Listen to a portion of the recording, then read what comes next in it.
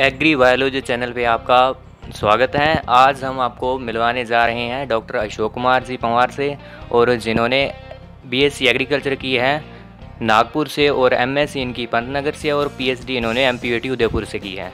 आज हम इनसे बात करेंगे कि जेआरएफ क्या है कितनी फेलोशिप मिलती है कितने सब्जेक्ट होते हैं पैटर्न क्या है और इस तरह से हम इनसे क्वेश्चन करेंगे।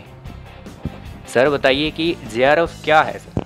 हाँ, तो आज हम बात करेंगे जेआरएफ के बारे में। तो जे क्या है? जूनियर रिसर्च फेलोशिप होती है। इसको जो आईसीआर है ना आईसीआर कंडक्ट करवाता है। तो ये जो फेलोशिप इसमें क्या होता है कि आपको एमएससी के दौरान फेलोशिप मिलती है और ये दो साल तक मिलती है जब तक आपकी एमएससी चलती है ठीक है? तो इसमें और बाकी इसमें क्या है कि आपको फेलोशिप का पैटर्न है। जे वाले में फेलोशिप मिलती है बारह हज़ार छः सौ समथिंग और जो नॉन जे होता है उसको फाइव थाउज़ेंड समथिंग मिलता है। पर ये पर मंथ के हिसाब से मिलता है ठीक है? सर, बताइए कि जे में कोई टोटल सब्जेक्ट कितने होते हैं? पैटर्न क्या और इस इस पेपर का? बताइए सर। हाँ तो जे में अलग अलग सब्जेक्ट जैसे एक्सट्रीम बना रखी है, जैसे प्लांट साइंस है और बायोटेक्नोलॉजी है ये, या फिर सोशल साइंस है, या एंटोमोलॉजी करके ऐसे सब्जेक्ट बना रखे हैं। जैसे फ़िज़िकल साइंस में जैसे सॉइल साइंस वगैरह आते हैं प्लांट साइंस में जैसे ब्रीडिंग आ गया जेनेटिक्स आ गया पैथोलॉजी आ गया तो इनमें से कोई सब्जेक्ट वाला इसके अंदर आके इसके अंदर इसके थ्रू तैयारी करे तो इस स्ट्रीम के थ्रू चलना पड़ेगा उसको और फिर उसमें एडमिशन होगा ठीक है?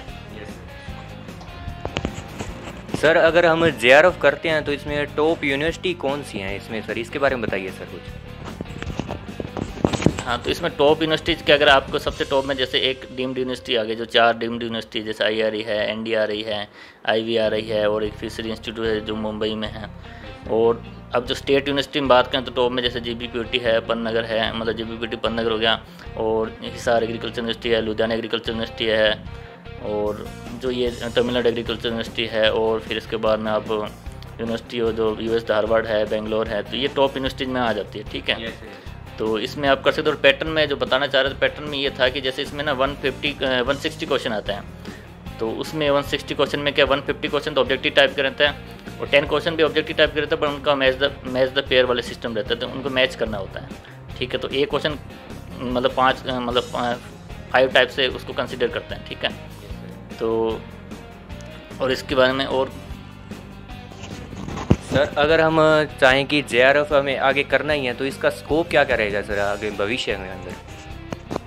तो इसमें जे अगर आप करना चाहते हो कि आपका एडमिशन हो जाता है जे से किसी यूनिवर्सिटी में तो वहाँ से आप एमएससी कर लोगे। एमएससी करने के बाद में आप फ्यूचर जैसे या फिर नेट के लिए जा सकते हो एमएससी के नेट दे सकते हो, या फिर आप, जैसे आप पीएचडी के लिए आगे एस के थ्रू जा सकते हो, आप पीएचडी करके और मतलब हायर एजुकेशन में जा सकते हो, यानी एस्ट्रोन प्रोफेसर के लिए या ए साइंटिस्ट के लिए आप अप्लाई कर सकते हो। ठीक है? ओके इस प्रकार हमारे डॉक्टर साहब ने बताया कि किस प्रकार से हम जे कर सकते हैं और कितनी फेलोशिप क्या पैटर्न रहेगा और आगे इसका क्या क्या स्कोप है। इस प्रकार हमारे चैनल पे बने रहिए, इस प्रकार की जानकारी के लिए धन्यवाद। Thank you